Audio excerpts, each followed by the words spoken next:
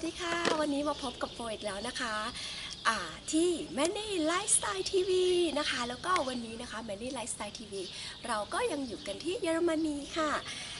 เช้านี้นะคะบรรยากาศสดใสมากๆเลยนะคะ โฟก็เลยนะคะ ถือโอกาสนะคะ ตื่นแต่เช้าแอบหนีแพทริกเนี่ย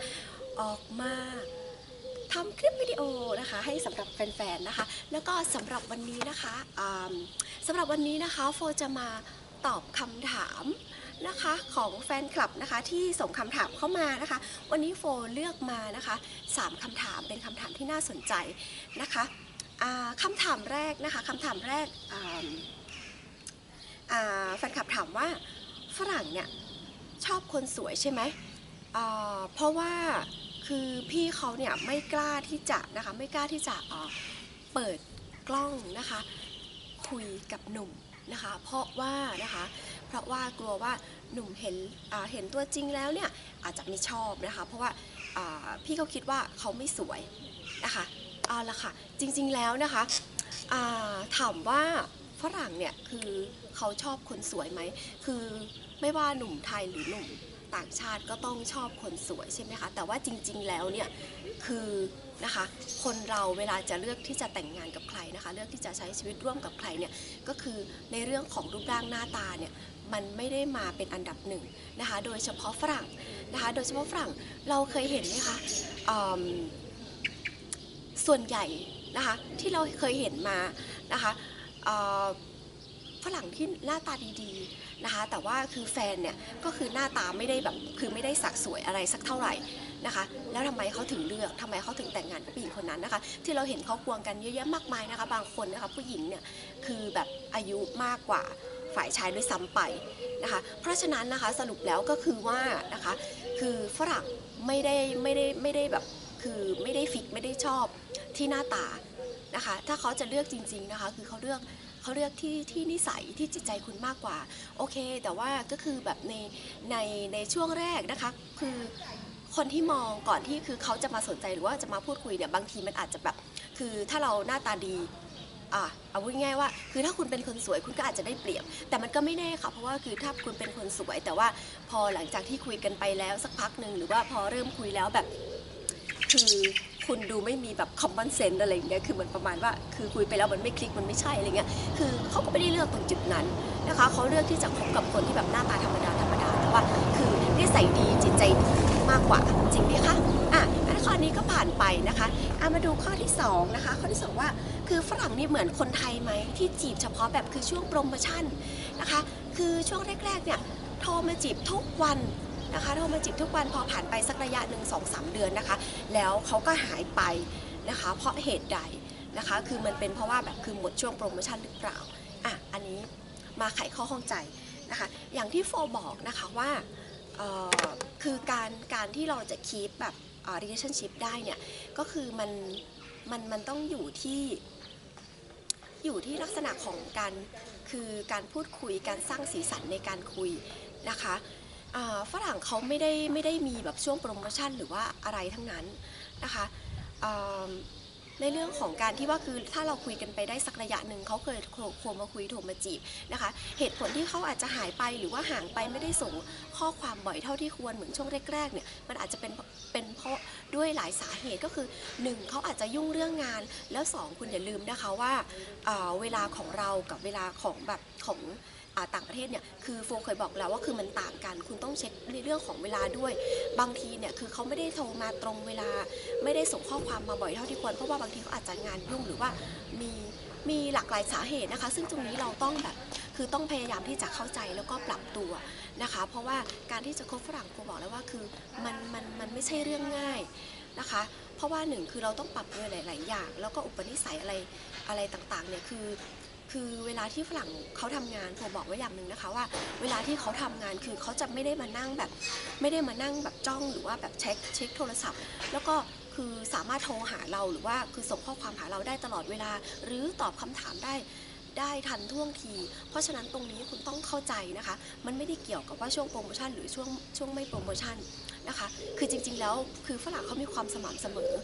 มากมากกว่าคนไทยอะอันนี้โฟพูดตรงๆนะ คือพูดไปแล้วไม่ถูกใจใครก็ต้องขออภัยด้วยเพราะเรื่องจริงเท่าที่โฟคือคบมารู้สึกว่าคือเขามีความสม่ำเสมอ ไม่ว่าเวลาจะผ่านไปกี่ปีคือเขาก็ยังเหมือนเดิมนะคะ ถ้าเขาถ้าคือถ้าเขาได้ตัดสินใจคือได้รักใครแล้ว คือเขาสาบานกับพระเจ้าแล้วนะคะเขาแต่งงานกับคุณแล้วเนี่ยคือในเรื่องของการนอกใจคือตรงเนี้ยมันเป็นวัฒนธรรมเขานะคะคือมันจะเกิดขึ้นน้อยมาก นะคะแต่คือมันก็มีคือมันก็มีแหละคือมันมันก็พูดไม่ได้ว่าเออแบบอุ้ยแบบคือเขาจะแบบว่าเออแบบฝรั่งมันจะไม่มีพวกเจ้าชงเจ้าชู้อะไรอย่างนี้คือมันก็ไม่ใช่ มันก็มีมันก็เกิดขึ้นได้เหมือนกันนะคะเพราะฉะนั้นแต่ว่าในเรื่องของเออฝรั่งจีบเฉพาะช่วงแรกไหมแบบคือผ่านช่วงโปรโมชั่นไปแล้วเขาจะคือเขาก็แบบหายไปอะไรอย่างเงี้ยคือจริง ๆ แล้วมันไม่ใช่นะคะตรงตรงนี้เราต้องเราต้องดูทั้งเหตุและผลด้วยนะคะอะอะ ข้อนี้ก็ผ่านไปนะคะทีนี้มาดูข้อที่3ถ้าข้อที่ 3 อันนี้น่าสนใจมาก ๆ เลยนะคะโฟจำอ่าไม่ได้ว่าน้องส่งเข้ามาเมื่อเมื่อน่าจะเมื่อประมาณ 2 วันที่แล้วนะคะ น้องถามว่าผู้ชายฝรั่งเนี่ยถามเรื่องเซ็กชอบคุยเรื่องเซ็กนะคะมากจนทำให้หนูกลัวแล้วหนูแบบคือหนูไม่กล้าที่จะออกเดทนะคะตรงนี้นะคะพี่โฟต้องบอกไว้ก่อนว่านะคะ การที่นะคะ ฝรั่งในในในในในในในเว็บออนไลน์ที่คุยเรื่องเรื่องเรื่องเซ็กเรื่องอะไรเนี่ยคืออ่าไม่ใช่ฝรั่งที่ดี ไม่ใช่ฝรั่งที่หนูควรจะคบนะคะหนูควรที่จะเลือกที่จะเป็นแฟนนะคะเพราะฉะนั้นแล้วนะคะคือถ้านะคะคุยกับใครแล้วคือเขาคุยเรื่องเซ็กคือมันไม่ใช่แล้วค่ะ ตั้งแต่เริ่มต้นนะคะขอให้คุณตัดไปได้เลยนะคะ คือผู้ชายคนนี้ไม่ใช่คนที่หนูจะออกเดทด้วย นะคะ คือฝรั่งอาจจะเป็นคนเปิดเผยเรื่องเซ็กก็จริง อันนี้พี่พูดตรงๆนะคะ เขาอาจจะมีการเปิดเผยหรือว่าสามารถพูดคุยเรื่องนี้ได้ แต่ในการที่คุยนะคะในการแชท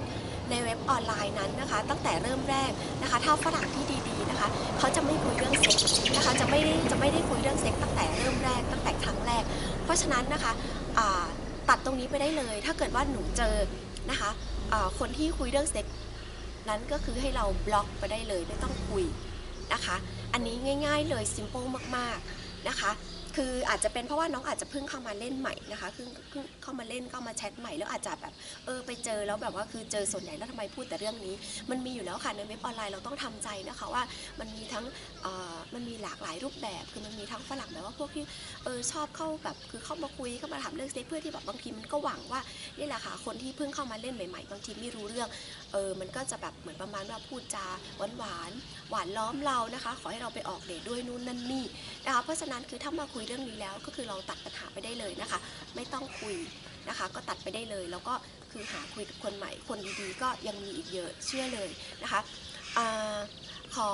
โฟขอฝากไว้อย่างหนึ่งนะคะว่าการหาคู่ผ่านเว็บออนไลน์นั้นน่ะมันมีหลากหลายรูปแบบนะคะเพราะฉะนั้นเราจะต้องมีมีสติแล้วก็ให้รู้เท่าทัน